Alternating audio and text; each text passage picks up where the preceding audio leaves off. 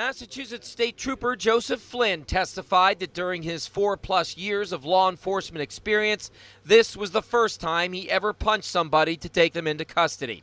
Flynn told the jury in his assault trial that he delivered what he called submission blows to Richard Simone during this traffic stop in Nashua last year after an intense high speed chase through two states that ended on this dead end street. What was your goal?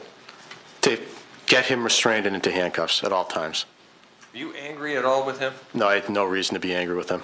Video from news helicopters shows Flynn deliver several blows to Simone after former New Hampshire State Trooper Andrew Monaco throws the first punch. Monaco pleaded guilty to assault and is no longer working in law enforcement.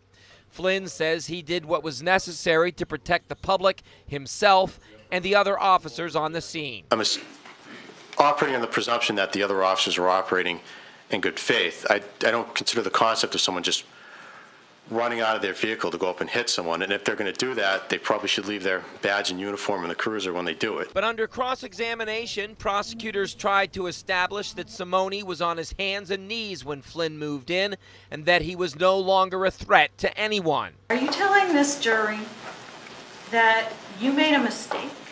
Or are you telling this jury that your, your actions were necessary and justified? I'm telling this jury I reacted based on the stimulus and the things going around me. Closing arguments are scheduled for tomorrow morning. Reporting live in La- Nashua, I'm Andy Hershberger, WMUR News 9.